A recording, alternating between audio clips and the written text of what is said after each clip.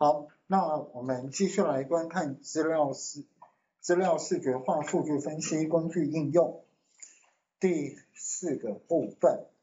嗯，这一节要跟各位除了把刚刚这张图的趋势线画上去，我想再增加就是地图，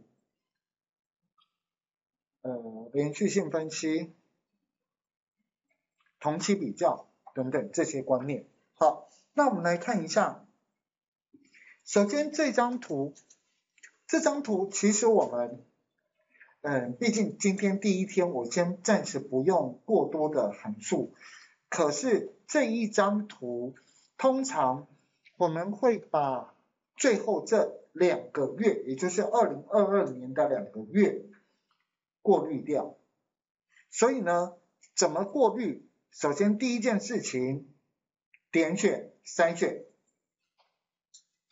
然后请把这个年年进口日期二的年设成小于二零二二，这个年请设为小于二零二二，然后套用筛选，这样子的话。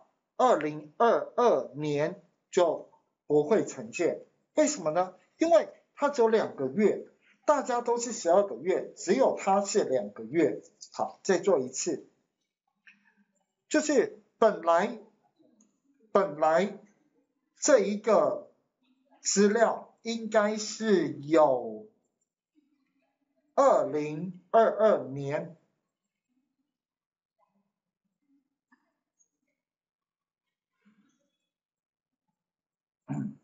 有二零二二年，可是这个二零二二年只有两个月，不适合放在一起来跟大家做比较，所以这个时候我们通常会把最后这个两个月的这一个资料呢来去拿掉。所以怎么样去呈现？比较简单的做法就是用筛选，所以请打开筛选，然后请在年年这个地方。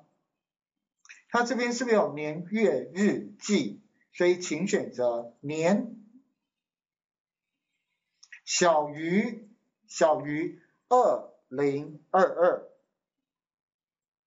年的进阶筛选小于二零二二，然后请点套用筛选，只要符合资料，它就会呈现。